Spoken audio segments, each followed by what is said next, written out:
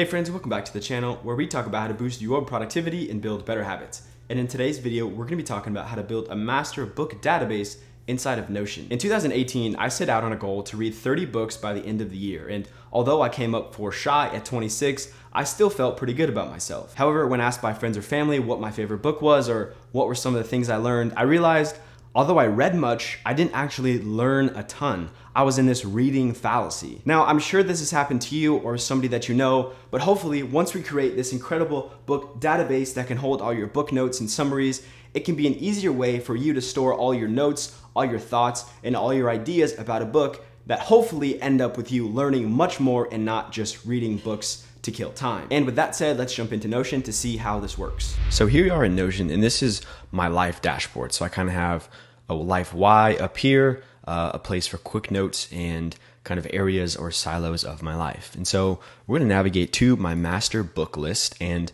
this is what the book list will look like when we're completed today. So we'll have the name of the book here, the year that it's read, the author, a quick rating, the date that it was read. Obviously, I kind of updated these all in one go because these were all from 2019.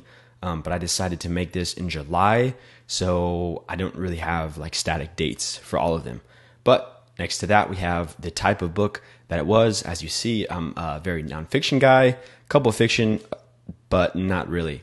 Um, we have some book notes here, so this is the tag of whether or not I have to or um, I have completed or have yet to complete book notes, and that can be a checkbox as well. And then we have the date added here. Um, I just like to know as this kind of gets built out over the years, I would love to know when did I add books. Um, but obviously, like I said, I did this in one backlog, so they're all in July. So to teach the tutorial, uh, I'm going to go into a different workspace just so we're completely blank, nothing else is in here. And we're going to make two pages. And one page is going to be the book list, and you can name that whatever you feel like it. Uh, and this is going to be a database. So don't click any of these, click table. So once you have that, we're going to go ahead and add a new page and we're going to call this authors. And this is as well, this is going to be a database. So in the book list, uh, we're going to go ahead and delete both of these. Just kind of annoying uh, that those are there.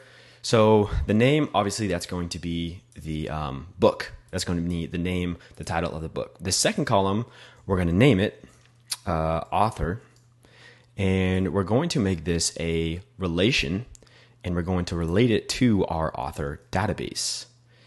Um, and the reason for that is so there's a relation between these two. So if I put a new author in here, uh, say name Simon Sinek, and here I do Simon Sinek, and say this book is uh, The Infinite Game, and start with, whoops, start with Why by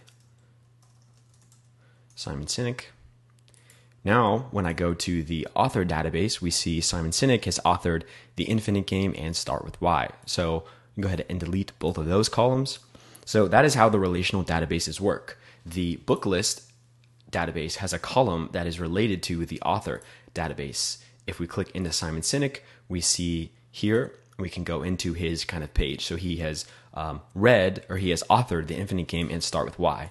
So if we go into the author's page, we can name this um, books written. So now uh, you're just going to go ahead and kind of fill out this page where uh, the name of the authors are. So uh, James Clear, uh, Simon Sinek, uh, Jim Collins, whatever authors you have, whenever you add a new book, you're going to add the author name here. So let's go back to our master book list page and let's add a new column that is uh, the year that's read. I think this is a fascinating thing to have and this is going to be a select. So we'll do 2020, obviously, hit enter, erase that, go 2019, hit enter, and we'll just go to 2018, hit enter. And Simon Sinek Infinite Game, I read in 2020. Uh, Start with Why, I read in 2018. Uh, all right, so we're going to collapse that. We can collapse this a little bit. So we have the name of the book, the author, the year that it's read, and for this next column, we're going to go ahead and do a rating. So the rating is going to be a select column as well.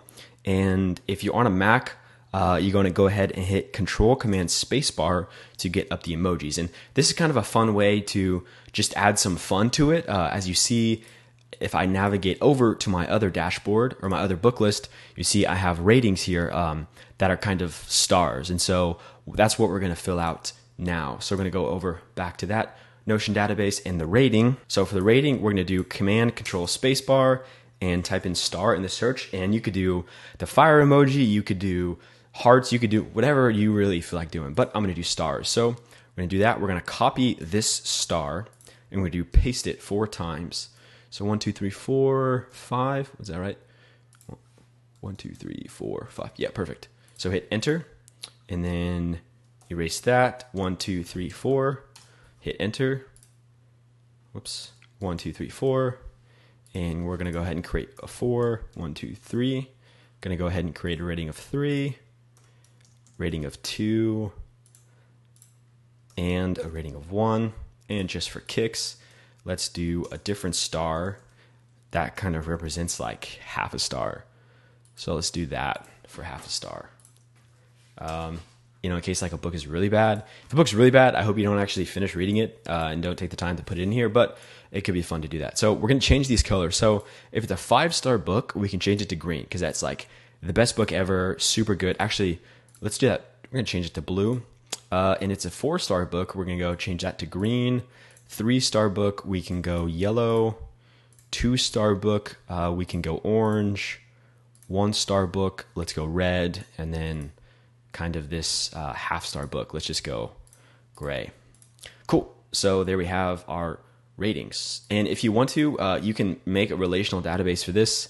Um, I don't know why you would. I, I, feel like that wouldn't really be necessary. Um, but the cool thing with doing kind of the relational databases for authors is if you open up uh, the author page, you can type in information about the author. So you can do like if we go into if we go into this category, uh, let's collapse this sidebar or bar a little bit, and let's do a link, call a link, and make it a URL. And I'm just going to paste in Simon Sinek's uh, sidebar here, and basically all that does is uh, just allows me quick access to kind of jump to his personal site. So I can click that, and it'll launch up his site. One other thing too, uh, so this book's written. You see, it's kind of they're kind of collapsing and that is a, uh, a setting so you can turn wrap cells on or off so if you hit if you turn wrap cells off it'll just be one line um, and you won't be able to see the other books uh, for the author i think it's kind of cool to see how many books the author's written uh, compared to how many you've read that's kind of fun um, cool so we have the author the year that's read uh, the rating i would for sure give infinite game a five star rating and expand that so it fits uh, looks good nice and centered uh, the next thing we're going to add is the date that I read it. Um, and so we're going to change this. Uh, we're going to name it, add a new column, and go date read. And the text is going to turn into a date. So make that a date. Uh, where's the date? Ah, there it is. Make that a date column and turn on end time. And so the reason you do this is so you can see I read it from August 30th to August 30th. Um, and I'm gonna actually going to go back because I read it in the beginning of this year. So I'm going to go January. I think it was like February 1st. Uh, took me about a week. So, and then end time. We're to go navigate back to February and start at the first. So I go like the 8th. Um, so that, and that just kind of gives you a fun way to be able to see how long um, the book is read for. And also helps you know um, if you have yet to finish the book because if you have a book that you started on August 1st and haven't finished it, obviously you don't see kind of the end date there. So that's going to help us a lot um, when we try to filter out the books that we are currently reading and the books that we have read. The next uh, column we're going to do is the type of book. So go ahead, add a new column, and go ahead and you can type in type. Actually, type in genre and change that from a text to a select, and type in non fiction. Go ahead and create that and then type in fiction. And those are the only two that I added um, into my category because I really don't read any other books other than nonfiction, and rarely do I read fiction books. Um, but uh, The Infinite Game was a nonfiction book, so we're going to go ahead and add that, and then we can collapse that sidebar, give it some less room. Uh, and then we have book notes. So one of the things I love to do is uh, take book notes on all my books. So if we go back here to my database and uh, actually, and we go to one of these where the book notes is completed, Seed Ride of a Lifetime, open that up and we see um, I have book notes for a one sentence summary. Um, and this book was incredible, uh, Ride of a Lifetime by CEO of Disney. Um, and it was at all costs, you must be willing to innovate the way you do business and what your company delivers. You must have an innovate or die mentality. So I always start with a one sentence summary, two key takeaways from the book, and then chapter summaries. Um, so this is not a summarization guide like Tiago Forte. Um, I'm working on one of those, but this is just purely notes, kind of highlights, thoughts that I had um, while I was reading the book. So, and I do that when I'm done. So when I'm completely done with the book, I go through and flip through it, whether it be on Kindle or actually um, paper book. So I'm gonna go to um, actually let's make this a checkbox. So book notes. So if book notes are done, obviously you're gonna hit check, and if they aren't done, we're gonna do um, uncheck. So that is just to show us, and that's gonna help us um, filter out kind of the books that we have done and the books that we haven't. And the last column that we're going to make is the date added. So we're going to scroll down and go ahead, created time. So obviously, all of these three are created today. Um, but as you kind of go about your business and you kind of build this out, you're going to be able to see when you have and when you haven't added books. And this really is cool for when you create a wish list of books or a book list that you want to read because you can see um, oh, I added this book in July of 2018. Uh, I still haven't read it. Maybe I should I should get on that book. So it's kind of cool to see when books are added. Um, and before we continue, um, I didn't add an icon or a book cover. Uh, so I'm going to go ahead and add an icon. And actually, I typically go to uh, Notion.vip um, and grab one of their icons. I think they're the coolest company, one of the coolest companies. They have a really cool um, minimalist icons, but I can't show you my Chrome because of the way the loom is recording. So I'm just going to add the books. Um, and I actually like that cover. I typically use gradients. Maybe we reposition it a little bit. Um, yeah, I like that, a little lighter. Cool. So that's just a, a fun way to do that. So now that we have this um, book list database kind of built out, now we can start to add different views. So one of the views we're going to add is all books. So that's going to be the first view. So we're going to add a view and we're going to name it all books. And we're going to create it by a table and go ahead, go ahead and uh, hit create. You can rearrange this list however you want. So if you want um, the author to be at the very end, you can just click and drag that. Uh, if you want the book notes checkbox to be um, at the very beginning, you can go ahead and uh, just drag that around. So whatever you feel um, is necessary, whatever you think is going to be the easiest, go ahead and do that. So, but we're going to add a couple sorts. So we're going to sort it, and I want um, my all book list. I want to sort by uh, the name of the book. So the reason I want to do this is because this is kind of my all books. This is basically my library. So whenever I go into this book list looking for books that I've read, I'm going to go to my all books list and it's going to be really easy for me to sort if everything is alphabetical. So that is why we add the sort and we aren't going to filter out anything because this is just all the books I have in my database. Next view we're going to add is a, um, and we can go ahead and delete this default view because most likely it's not very good. So the second view we're going to add is the reading now view. So we'll name it reading now, put a little ellipses there, and it is going to be a table. I'm going to go ahead and hit create. Um, so start with Why, perfect. Um, infinite game. So all of these stuff is good. Again, feel free to rearrange uh, as you please, but I'm going to keep it how it is. So what we're going to do is we're going to add a filter here to filter out books that we are currently reading. So the first thing we're going to do is we're going to add filter here, and we're going to click add a filter, and we're going to do where rating is, uh, whoops, is empty is what we're going to do. So rating is empty. So because the rating, because I haven't finished the book, I haven't been able to give it a rating. And so this is how I know these are all the books that I'm currently reading. And again, we're going to add a sort um, by name ascending, just that way it kind of keeps um, our alphabetical format. So the next thing we're going to do is we're going to make sure this column has the date read. Because if I'm started to read this book, then it's going to have a date there where it's uh, started. Now, it doesn't have to have an end date because you're still reading. But that's going to allow us to add another filter. So we're going to head and go ahead and click filter and add a filter where uh, the date read is not empty. And um, that way it's going to filter out all the books that we still want to read. So I'll show you in the next view that we create, we're going to have a book list, but because we haven't started reading those books, there's not going to be a date read, which meant that it's going to filter those books out of this view. So that's what we're going to do now is we're going to go, go ahead and add a view. In this view, we can call this unread. Actually, we're going to call it to read. So books to read. Going to go ahead and click enter. And all right, so here's our to read uh, view. And again, rearrange columns as you uh, wish, however you want to do it. But first, uh, we're going to add a filter. So go ahead and click filter, add a filter, and we're going to add a filter where the date read is empty. And so what this does is it filters out all the books that are in our database that the date read is not empty because we add the filter of is empty. So say this is basically the books I want to read, kind of my wish list. So we're going to add here, um, and I'm going to add a new book, Atomic Habits. Uh, I've already read this book, um, but this is for just for the sake of the video.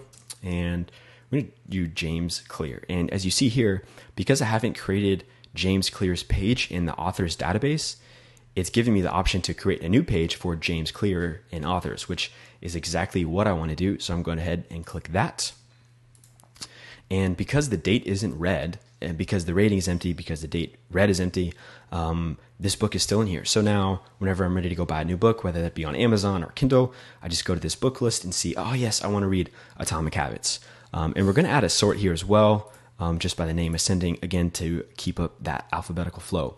So now I'll show you if we go back to our Reading Now books, um, it still only shows start with Why. And the reason it doesn't show Infinite Game is because Infinite Game has a rating, and the reason it doesn't show Atomic Habits is because Atomic Habits does not have a date read. So if I go into Atomic Habits and I click date read and say, I just started reading this yesterday, it's going to filter that out.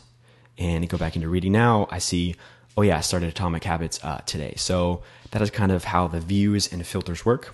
So the next we're going to do is we're going to add um, read read in uh, a view for read in 2020. So this filter is for the the current year. So books that you read in 2020, you're going to go ahead and add a filter where the um, year read is 2020.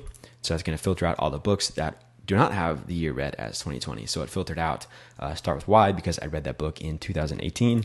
And again, we're going to add another sort uh, name ascending to again as this book list grows. We want to keep and um, stick with that organizational structure of the A, B, C, D. So last uh, and final view that we're going to add is uh, the view for to do. Actually, we're going to name it uh, book notes to do. Oops, that's going to bug me. So I got to rename that uh, to do. Boom, there we go. All right, so make sure we're in that view. Again, uh, feel free to rearrange as you please. Um, but what this view is going to do is it's going to filter out, um, filter where the checkbox of book notes is unchecked. Um, and so the reason these books are showing up is because I still need to do book notes for Atomic Habits, Start with Why, and the Infinite Game.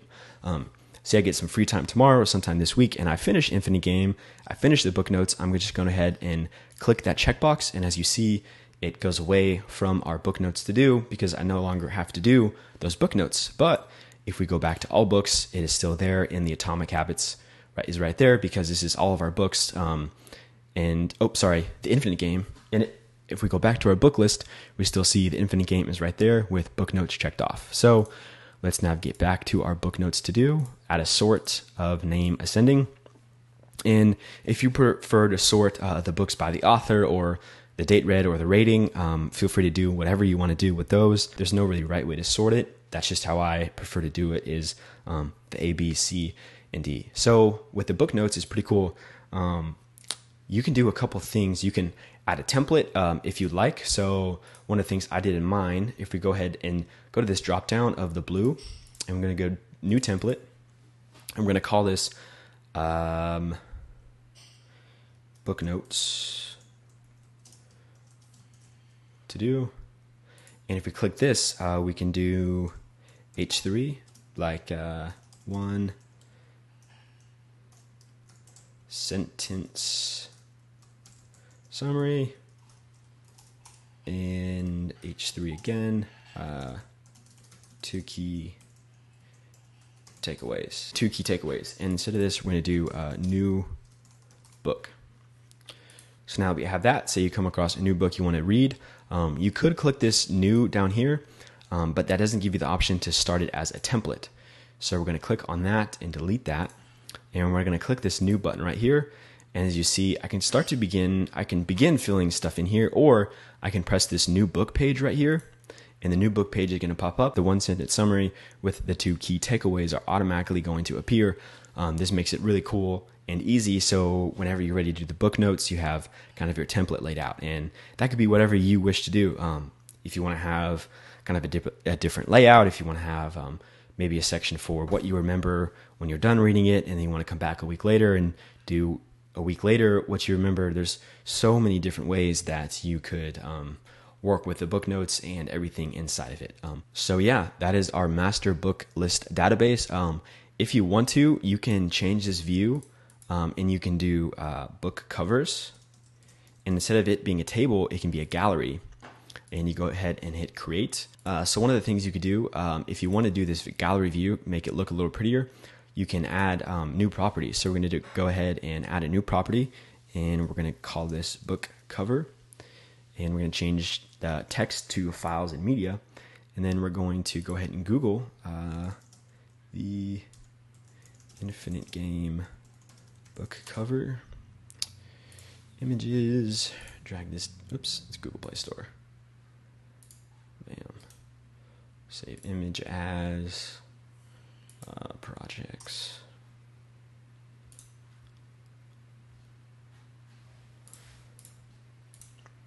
So if we have that book cover section um, open for files and media, we can click this empty box and choose a file. And I don't know if you can see this because it's not Notion, uh, but basically I'm just dragging that cover in from um, Google. Gonna go ahead and exit out and then start with Why here. We can click those um, three dots, navigate to properties, and we're gonna cover, we're gonna turn on, uh, let's turn on author, let's turn on book cover, and let's turn on uh, genre. And the next thing we're going to do is we're going to turn on fit image. And then the card preview here, instead of it being uh, none page content or um, page cover, we're going to click book cover. So this is basically reading our properties and saying, oh, I see you have a files and media tab. Do you want that to display on the card cover? Which indeed we do. So we're going to press that and you see the infinite game now um, the book cover is popping up there. And if you don't like it fit in there, you can turn that off. So you can press the three dots, go to properties, and turn fit image off.